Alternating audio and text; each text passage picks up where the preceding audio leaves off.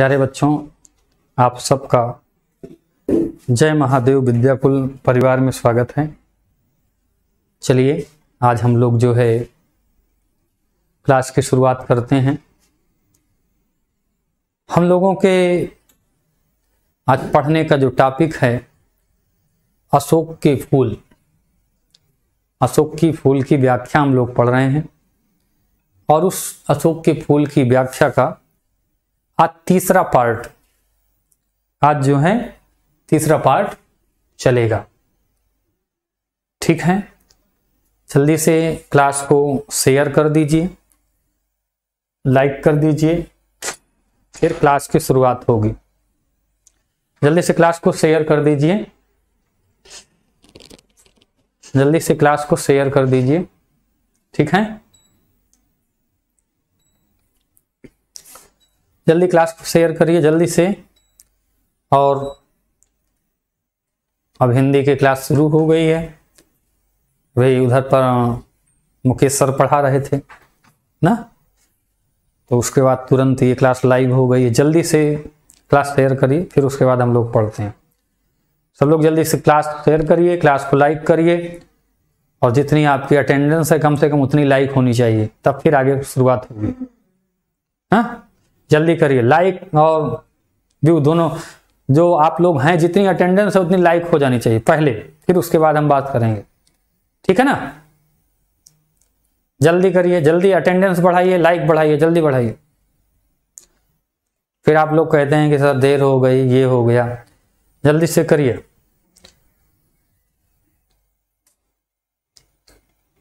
शुरुआत करें। ठीक है अटेंडेंस तो बढ़ गई, भी लाइक नहीं बढ़ी। लीजिए। क्लास की शुरुआत होती है अब। अब हम लोग पढ़ना शुरू करते हैं। ठीक है? क्लास शुरू किया जाए भाई अब सबको गुड आफ्टरनून सबको मेरी तरफ़ से चैनल की तरफ़ से चैनल परिवार की तरफ़ से बहुत बहुत शुभकामनाएँ। आप लोगों का उज्जवल भविष्य हो और इसी तरह से पढ़ते रहिए। ना? ठीक है। शुरू किया जाता है। अभी भी कमी है। अभी भी कमी है। जल्दी उसको पूरा करिए। चलते हैं। कि लेकिन मेरे लेकिन मेरे मानने न मानने से क्या होता है? क्या कहते हैं? ईश्वी सन के आरंभ से लेकर के आसपास अशोक का शानदार पुष्प भारतीय धर्म, साहित्य और शिल्प में अद्भुत महिमा के साथ आया था। पिछले टॉपिक को इस टॉपिक से रिलेट कराते हुए, जोड़ते हुए, पिछले क्लास से इस क्लास को जोड़ते हुए तो अशोक के महत्व के विषय में बात करते हुए लेखक कहते हैं।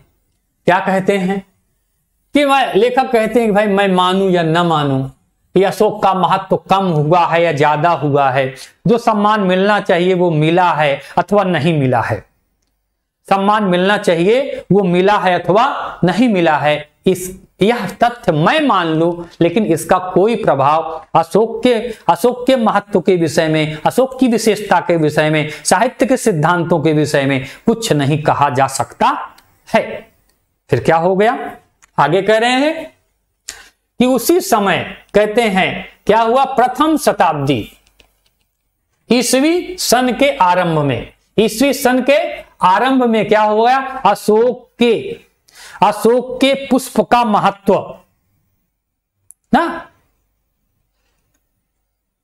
अशोक के पुष्प का महत्व। धीरे धीरे बढ़ता चला गया। ये शानदार पुष्प, माने शान से, मान से, सम्मान से, इज़्ज़त से, मान से, सम्मान से, इज़्ज़त से ये पुष्प भारतीय साहित्य में, भारतीय साहित्य में आया। भारतीय सभ्यता में आया भारतीय दर्शन में आया, कह रहे हैं कि भारतीय धर्म में इसका वर्णन है, साहित्य में वर्णन है, शिल्प में वर्णन है और अद्भुत महिमा, अद्भुत माने आश्चर्यजनक। क्या होता है भाई? आश्चर्यजनक,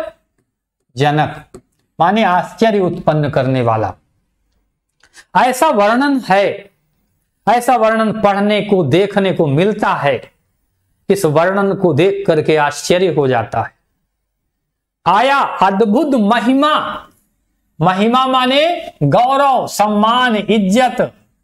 गौरव, सम्मान, इज़्ज़त के साथ। फिर क्या कह दिया?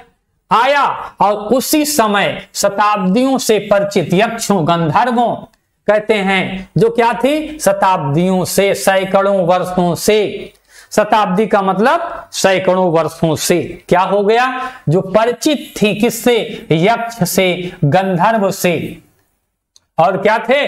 ने भारतीय धर्म साधना को एकदम नवीन रूप में बदल दिया। जो भारतीय धर्म था, भारतीय साधना पद्धति थी, भारतीय परंपरा थी, भारतीय रीत थी, भारतीय संस्कृति थी भारतीय धर्म था, भारतीय सिद्धांत थे, भारतीय आदर्श थे, उन सबको क्या कर दिया भाई? प्रस्तुत कर दिया।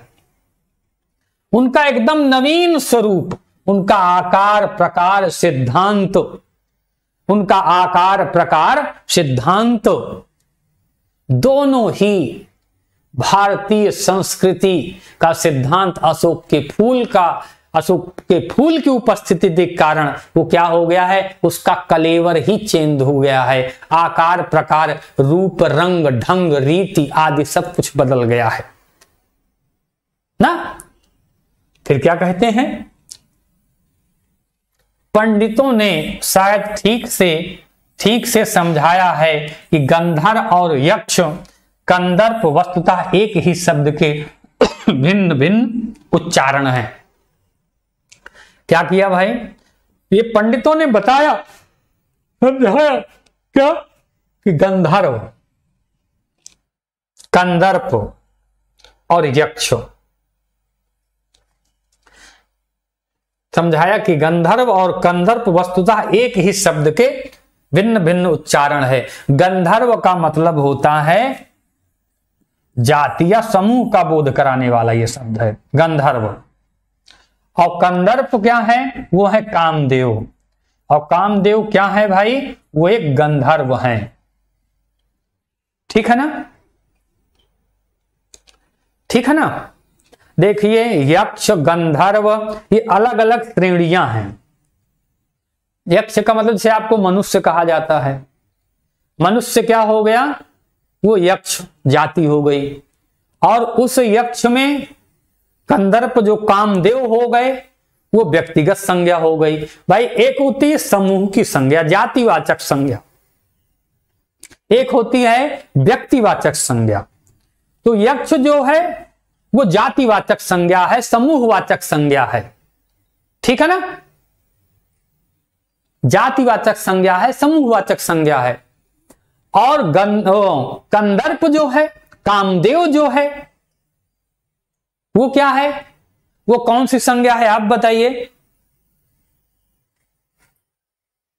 कौन सी संज्ञा है संज्ञा है कंदर्प। कंदर्प कौन सी संज्ञा है? समूहवाचक संज्ञा है, जातिवाचक संज्ञा है, या व्यक्तिवाचक संज्ञा है। बताइए भाई, जल्दी बताइए। कौन सी समूह कंदर्प? कंदर्प जो है, वो व्यक्तिवाचक संज्ञा। कंदर्प माने कामदेव होता है। व्यक्तिवाचक संज्ञा है। कंदर्प का मतलब कामदेव है। और यक्ष क्या है? समूहवाचक संज्ञा है। एक समूह को बोध कराने वाली है वो। इतना अंतर है। समझ में आ गया? बात समझ में आ गई कि नहीं समझ में आई? अगर ये बात समझ में आ गई, तब हम लोग आगे बढ़ेंगे। समझ में आया है? समझ में आ गया जो मैंने बताया? देवता अलग होते हैं, व्यथा यक्ष अलग होते हैं, किन्नर अलग होते हैं, भगवान अलग होते हैं। इन सब चीज़ों के विषय में चर्चा करेंगे तो सारी चीज़ें चली जाएँगी। ठीक है ना? जो यहाँ पे लिखा है, वो आपको समझ में आना चाहिए। नो प्रॉब्लम ठीक है वेरी गुड अच्छी बात है। यक्ष मतलब देव नहीं होता है। यक्ष में दैवीय गुण होते हैं, विशेषताएँ होती हैं, लेकिन यक्ष देवता नहीं होता है, यक्ष यक्ष होता है, देवता देवता होता है, गंधर्व गंधर्व होता है। भगवान ब्रह्म भगवान होते हैं, ये कोटियाँ हैं। चलिए आगे। कंदर्प देवता ने यदि अशोक को चुना है तो निश्चित रूप से वह एक आर्योत्तर सभ्यता की देन है। अगर कामदेव ने कामदेव ने क्या किया है? कामदेव ने अगर अशोक के पुष्प को महत्व दिया है, उसको अपने श्रृंगार के रूप तुणीर के रूप में, अस्त्र के रूप में प्रयोग किया है, धारण किया है, तब निश्चित रूप से अशोक का पुष्प जो है, अपनी विशेषताओं के कारण, अपने गुणों के कारण निश्चय ही सम्माननीय है, निश्चय ही आदर्श फूल है। ठीक है? चलते हैं भाई। अरे यार, नाचने उचने के बाद छोड़ दो, कुछ पढ़ाई कर लो भैया। ये नाचने का काम छोड़ लो ना? इन इन आर्यतर जातियों के उपास्य वरुण थे। क्या करते हैं भाई? आर्योत्तर आर्य के बाद जो जातियाँ आई, उनके उपास्य क्या थे? वरुण। वरुण माने जल के देवता। कुबेर थे, वज्रपाणी, यक्षपति थे। क्या थे? इंद्र थे, यक्षपति थे, कुबेर थे। आर्योत्तर जातियों ने इन सब की पूजा की, उपासना की। आर्यतर माने आर्य के बाद, आर्य से इतर। दो प्रकार के लोग थे, एक आर्य थे, एक अनार्य थे, या आर्य से इतर थे।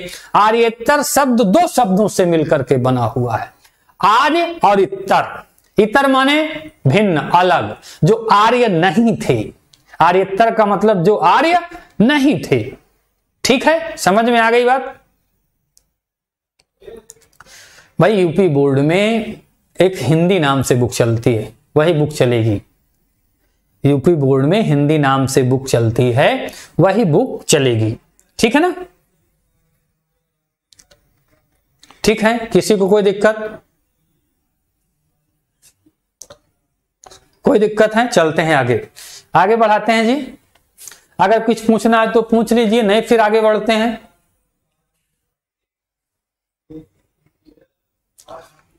अगर कहीं पे किसी को कुछ पूछना है तो पूछिए, नहीं फिर आगे चलते हैं। ठीक है? ओके। और लाइक पूरा कर दीजिए। जितने लोग देख रहे हैं, उतनी तो लाइक हो जानी चाहिए यार। ऐसा क्या कर रहे हो आप लोग? हैं? पढ़ भी रहे हो, समझ में भी आ रहा है प्रॉब्लम भी नहीं है, लेकिन वहाँ तक पहुँच ही नहीं रहे। लगता है कौन सा उसमें बहुत बड़ा जो है बहुत बड़ी मेहनत करनी, इतनी मेहनत करनी है कि उसको दबाएँगे तो बहुत बड़ा नुकसान हो जाएगा। क्लियर है? समझ में आ रहा है? सब लोग पढ़ रहे हैं, लेकिन वहाँ तक नहीं पहुँचे। एक छोटी सी बात। क्या कहूँ मैं उसके लिए? बार बार कहना पड़ता है, रोज कहना पड़ता है। ना? ये गलत है।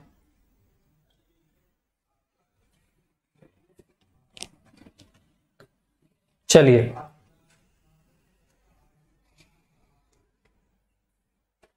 अगले अगले जो है पेज पर हम लोग आ जाते हैं।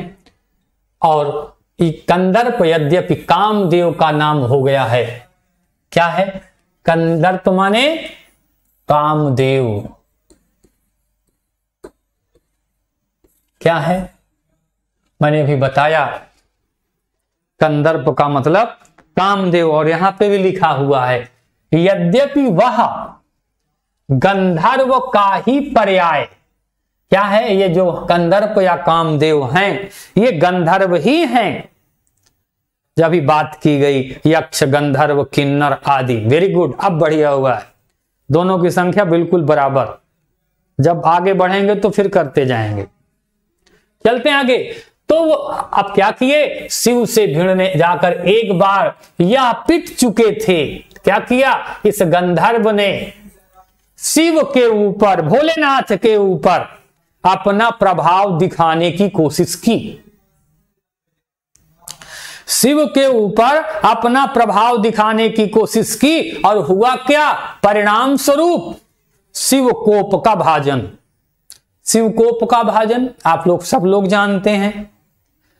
पर्याय का मतलब मतलब होता है, सही बात है। पर्याय माने पर्यायवाची भाई।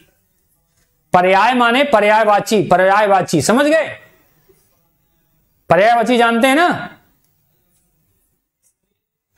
समझ में आई बात? तो क्या कह रहे हैं कि शिव क्या हो गया? ये पिटने गए थे, अब शिव के सामने गए, पिट करके चले आए नष्ट भ्रष्ट हो गए, जल गए उनकी क्रोधाग्नि में। फिर क्या हो गया है? कह रहे हैं और विष्णु से ये डरते थे और बुद्ध देव ने से इन्हें टक्कर लेकर के लौट आए थे। ये जो कामदेव थे, विष्णु से बहुत डरते थे, नारायण भगवान से। और बुद्ध देव से, महात्मा बुद्ध से भी, महात्मा बुद्ध पर भी अपना प्रभाव, महात्मा बुद्ध पर भी अपना प्रभाव दिखाने की कोशिश की थी। लेकिन महात्मा बुद्ध पर भी कामदेव का कोई प्रभाव नहीं पड़ा। यद्यपि कामदेव कामदेवता हार मानने वाले जीव न थे बार बार हारने पर भी वह झुके नहीं नए नए अस्त्रों का प्रयोग करते रहे। जब भगवान भोलेनाथ से, ना? क्या किया भाई? काम युद्ध बुद्ध से हाँ कामदेव डरते थे। गए थे, हिम्मत ही नहीं पड़ी। और शिव के सामने। भोलेनाथ के सामने एक बार साहस दिखाने का, एक बार साहस दिखाने का प्रयास किया। भगवान पर अपना प्रभाव दिखाने का प्रयास किया, लेकिन किया क्या भाई? बड़ी स्थिति दयनीय हो गई। बड़ी स्थिति दयनीय हो गई, जैसे इस शिव ने तृतीय नेत्र खोला, कामदेव का क्या हो गया? काया कल्प हो गया, माने काया ही बदल गई, राख के रूप में सामने पड़े हुए दिखाई दिए। जैसे भगवान शिव का तृतीय नेत्र खुला, जैसे ही भगवान का तृतीय नेत्र खुला, क्रोध जगा, कामदेव राख के रूप में सामने प्रकट हो गए, अर्थात क्या हो गए? भस्मीभूत हो गए।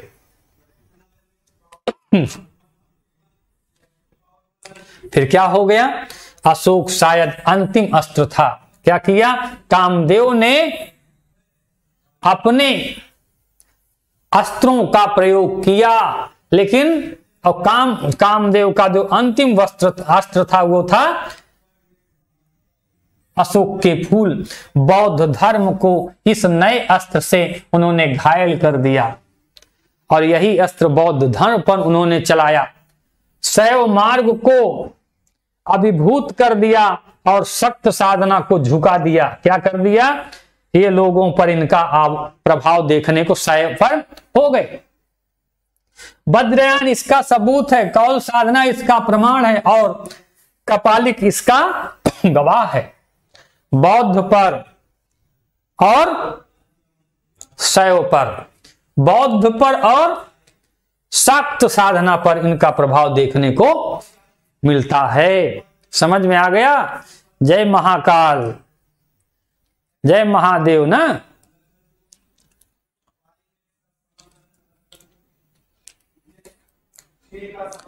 शैव मार्ग जो है सख्त मार्ग जो है, शक्ति के मार्ग पर चलने वाले, शक्ति के सिद्धांत को स्वीकार करने वाले, ठीक है ना?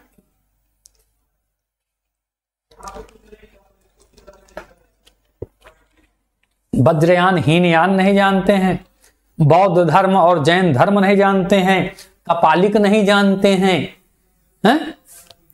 बौद्ध धर्म और जैन धर्म नहीं जानते हैं। कभी नहीं पढ़ा बौद्ध धर्म, जैन धर्म के विषय में? तो बड़े शर्म की बात है यार। ठीक है ना? ये सब संप्रदाय हैं। ब्रजयान, हीनयान नहीं जानते हैं। ठीक है? ये संप्रदाय हैं।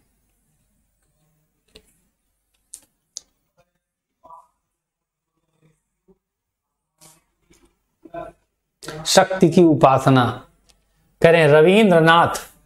रविंद्रनाथ ने इस भारतवर्ष को महा मानव समुद्र कहा है। क्या किया भाई? कि रविंद्रनाथ टैगोर की बात कर रहे हैं। रविंद्रनाथ टैगोर कह रहे हैं कि ये भारत कैसा है? महामानव समुद्र। यहाँ पर विभिन्न प्रकार की संस्कृतियाँ, विभिन्न प्रकार की जातियाँ, जैसे आपके कपालिक, शैव, जैन, बौद्ध, शैव हाँ इस तरह के जो विभिन्न हिस्से हैं। जैसे क्या किया भाई? यहाँ पे उत्तर प्रदेश, मध्य प्रदेश, शिमला, देहरादून, नैनीताल, फिर हिंदू मुस्लिम सिख ईसाई आदि। फिर उसके बाद जातियाँ आदि इस तरह से। कपालिक बेटा होता है एक मत है जो भगवान शिव का अनु आ, क्या करते हैं? अनुगमन करते हैं उनकी शिक्षाओं का उनके ज्ञान का। संप्रदाय है। ठीक है ना? अब चलते हैं। कह रहे हैं कि विचित्र देश है, जहाँ असुर आए, आर्य आए सक आए सक आए, नाग आए, यक्ष आए, गंधर्व आए, न जाने कितनी, न जाने कितनी मानव जातियाँ यहाँ आई और आज के भारतवर्ष को बनाने में अपना अपना हाथ लगा गई। भारतवर्ष कैसा देश है? बड़ा विचित्र देश है। बड़ा विचित्र देश है। और जो भी यहाँ आया, जो भी सभ्यताएँ आई, जो भी संस्कृतियाँ आई, जो भी जातियाँ आई, जो भी जातियाँ आई, आज के भारतवर्ष के निर्माण में अपना योगदान करते हुए जा रही थी। अपना योगदान करते हुए जा रही थी। चाहे जो भी भारत में आया, जैसे उदाहरण के लिखा, ना, यक्ष यक्ष, गंधर्व, किन्नर, नाग, बेताल नहीं जानते, कई बार भी बता चुका हूँ। ना? अच्छा क्या नहीं समझ में आ रहा? ये तो बताइए। हाँ? ये तो बताइए, क्या नहीं समझ में आ रहा है? आँसू बहाने थोड़ी कुछ होगा। भाई, जातियाँ हैं, संज्ञाएँ हैं।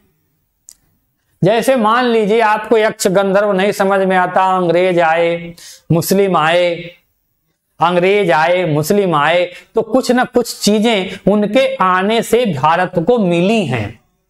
भले ही कम ही मिला हो, कम ही मिला हो, ये अलग विषय, नुकसान ज़्यादा हुआ है, ये अलग विषय है। कहते हैं, बाबर आया तो पहली बार भारत में तोप खाना का प्रयोग हुआ। तोप खाना का प्रयोग बाबर ने सबसे पहले किया था, बारूद का प्रयोग।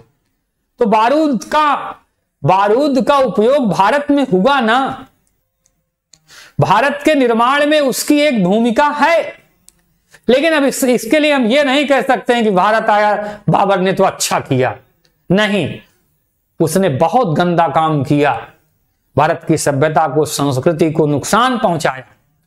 लेकिन यह भी है कि उसके आने से हमें कुछ मिला भी। भला ही थोड़ा ही भले ही थोड़ा ही मिला हो अलग बात है। तो क्या है? उसी तरह से ये नाग आए, यक्ष आए, असुर आए, ना आर्य आए, जो कुछ भी आए, और भारत के निर्माण में, अर्थात भारत में भी जितनी भी जातियाँ आई, जो भी आई, और आधुनिक भारत के निर्माण में अपना अपना सहयोग करने लगी। अब बात समझ में आया? ठीक है? फिर क्या कह रहे हैं कि जिसे हम हिंदू रीति नीति कहते हैं, वे अनेक आर्य और आर्यतर उपादानों का अद्भुत मिश्रण है। क्या है? हिंदू रीति नीति क्या है? हिंदू रीति, हिंदू धर्म की, हिंद, हिंदू संप्रदाय की क्या विशेषता है? समन्वय की संस्कृति। मैं कई बार बता चुका हूँ, भारतीय संस्कृति कैसी है? समन्वय की संस्कृति है।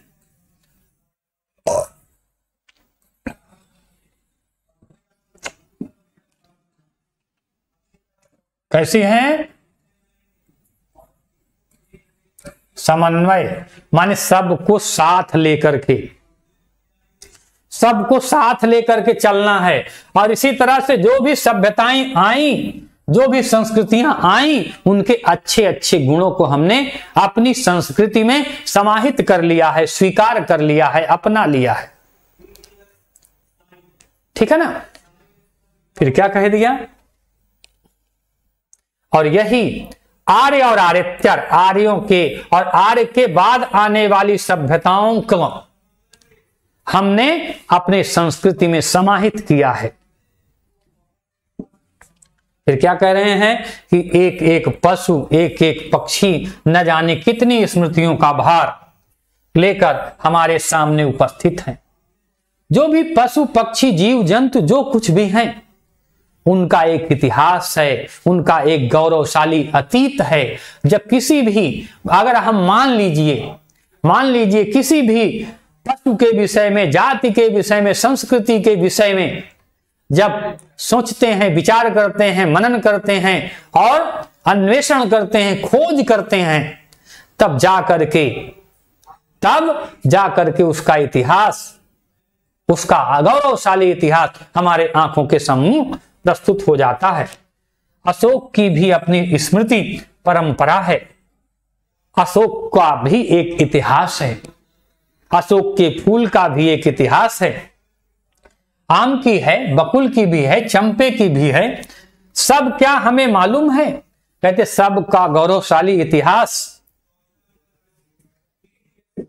सबके गौरवशाली इतिहास से क्या हम वाकिब हैं?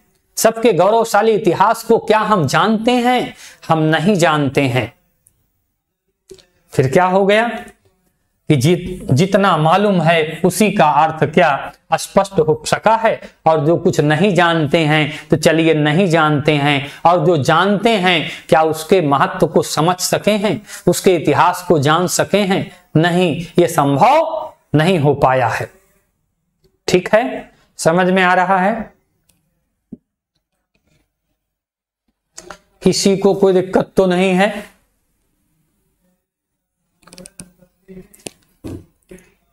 अगर कुछ पूछना है तो बताइए। हाँ हो तो गया यार।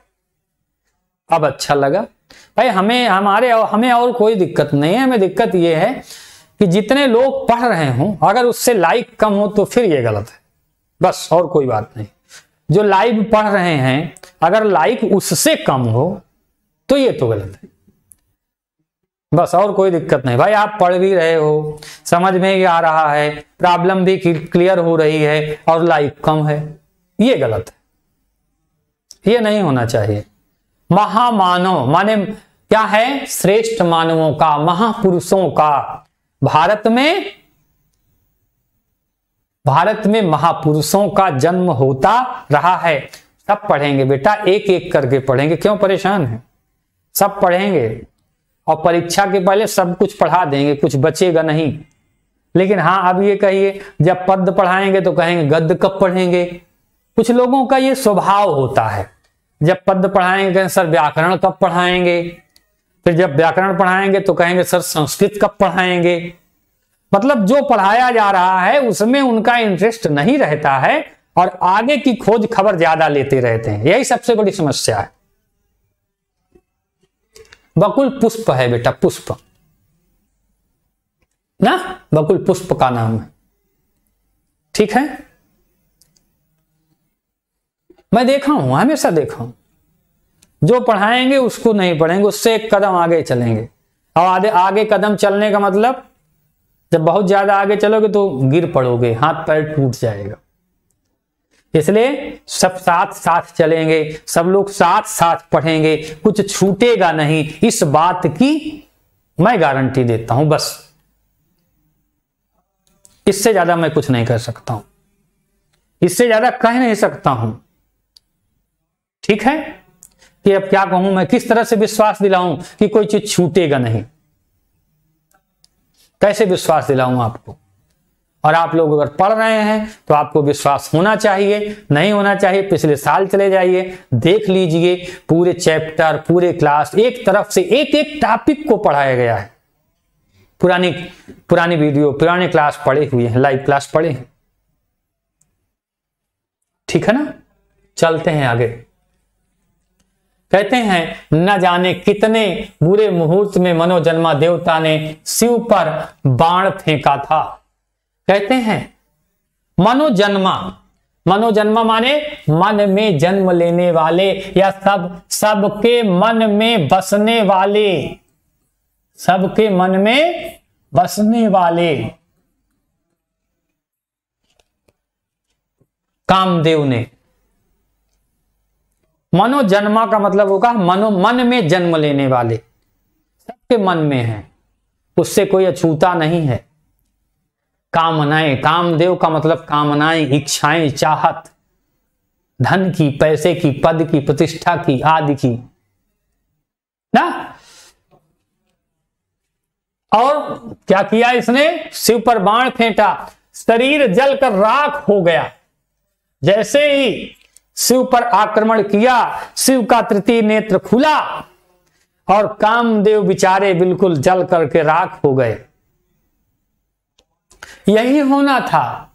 शिव के सामने गए थे, अपना प्रभाव दिखाने, अपना तेज दिखाने, अपना काम का प्रभाव दिखाने। और शिव कैसे थे भाई? भगवान को कौन क्या कर सकता है? शिव जी को कौन सामने जा सकता है?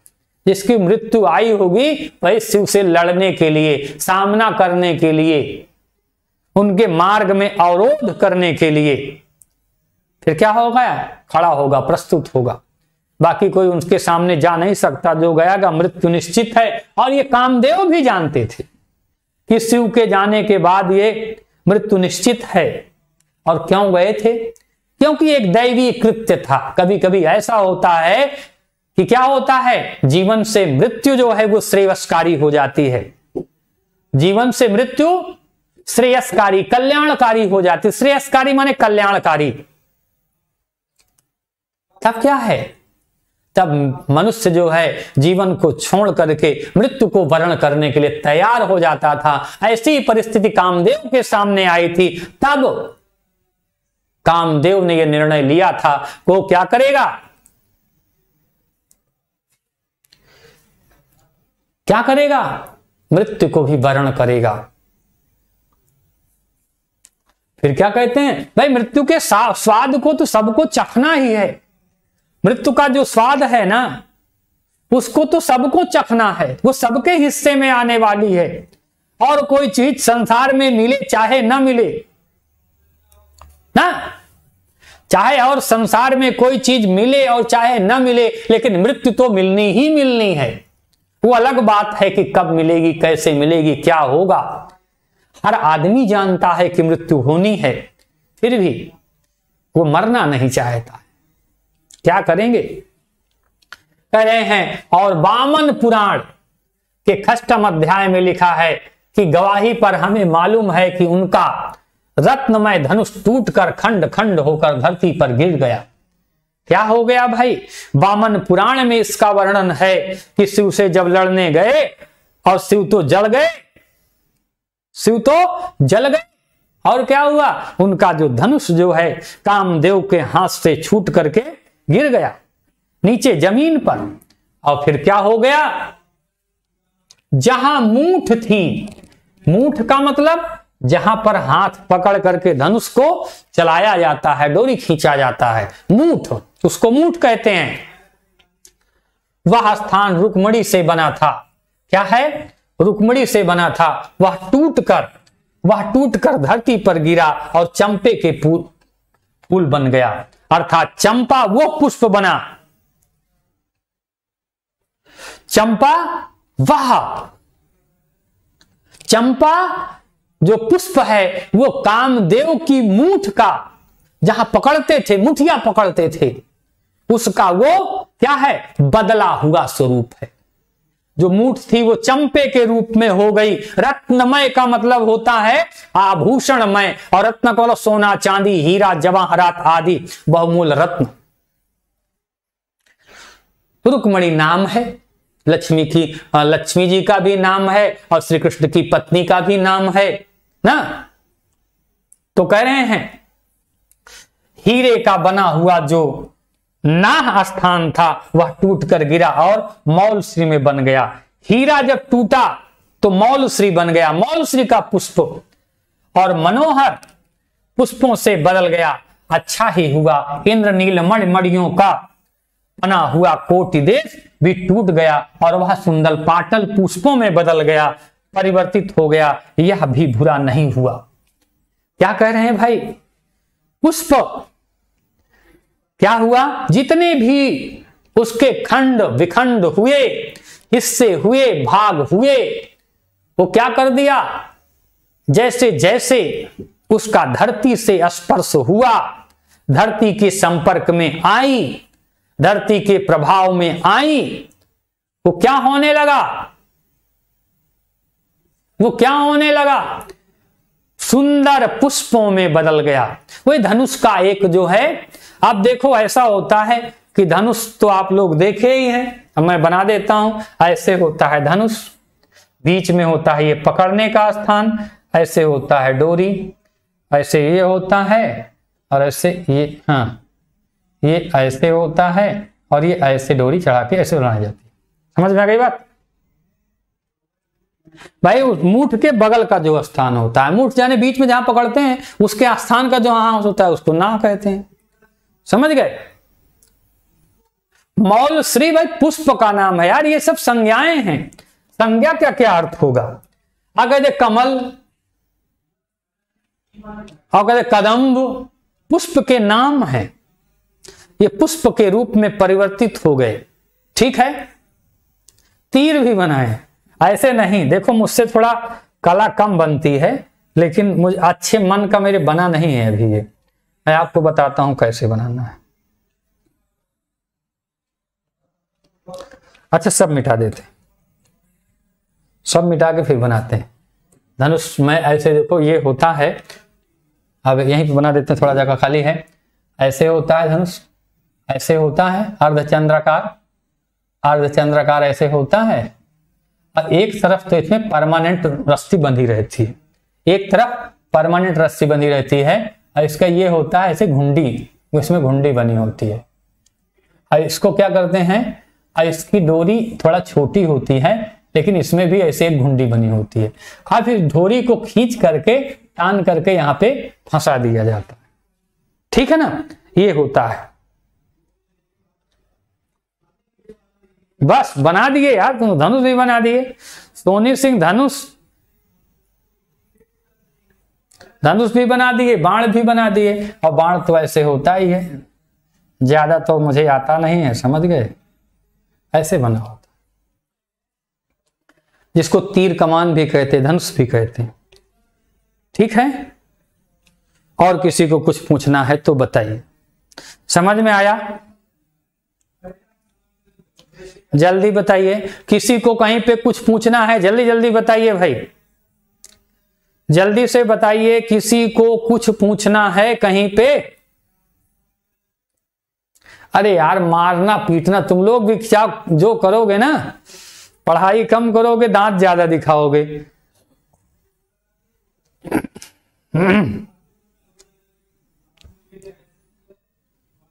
ठीक है, किसी को कहीं पे कोई दिक्कत हो तो बताइए। जो दिक्कत हो उसको कमेंट करिए, जल्दी से कमेंट करिए, जो भी प्रॉब्लम हो। जो प्रॉब्लम हो उसको क्लियर करिए कमेंट करिए, बताइए। ठीक है? ना बता दिया, देखिए। ना बता दिया हूँ। इंद्रनील इंद्रनील मणि का नाम है। ना? इंद्रनील मणि। मणि है। मणि जानते हैं ना? मणि तो जानते हैं।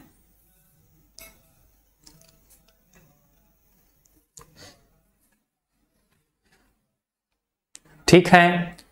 मणि है मणि है। रत्नमय माने रत्नों से बना हुआ। रत्न, विभिन्न प्रकार के रत्न होते हैं। हीरा पन्ना माड़िक नील, या क्या क्या होता है, उन सब रत्नों से बना हुआ। और रत्न माने? रत्न माने बहुमूल पत्थर, बेशकीमती पत्थर। हीरा भी एक पत्थर ही है ना? हीरा भी एक पत्थर ही है। जो चमकता है, बस इतनी सी बात होती है। अब सोना भी धातु है।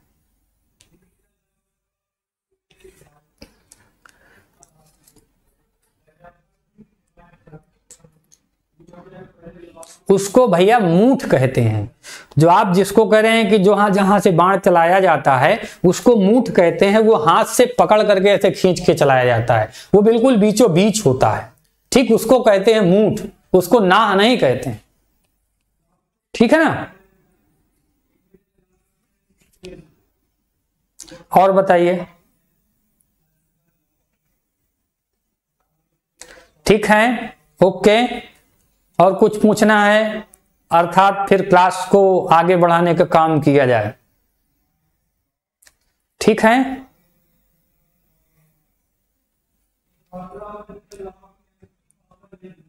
जल्दी बताइए।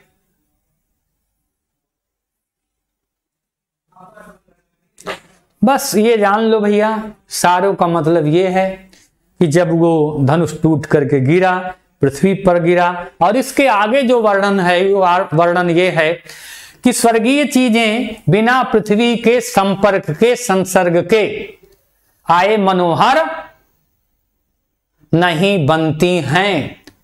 अगर किसी चीज़ को, चाहे वो दैवीय आभा, दैवीय शक्ति ही क्यों ना हो अगर दैवीय शक्ति दैवीय आभा ही क्यों न हो, जब तक उसका पृथ्वी पृथ्वी से संसर्ग नहीं होगा, जब तक उसका पृथ्वी से संसर्ग नहीं होगा, संपर्क नहीं होगा, पृथ्वी पर नहीं आएगी, तब तक अपने सुंदर आकार को कभी भी प्राप्त नहीं कर सकती है। ठीक है ना? और बताइए। ठीक है। बस आज की क्लास खत्म, अगले दिन आगे फिर पढ़ते हैं। ठीक है? अभी फिर हम लोग फिर क्लास करेंगे। आगे तो चलेंगे, लेकिन आज नहीं। आज के लिए क्लास की बस समापन की घोषणा। आगे चलेंगे, फिर पढ़ेंगे, फिर बढ़ेंगे। और इसी तरह से आप पढ़ते रहिए पढ़ते रहिए, लिखते रहिए, समझते रहिए, जहाँ पर जहाँ पर जो भी प्रॉब्लम हो, उसको बताइए। ठीक है?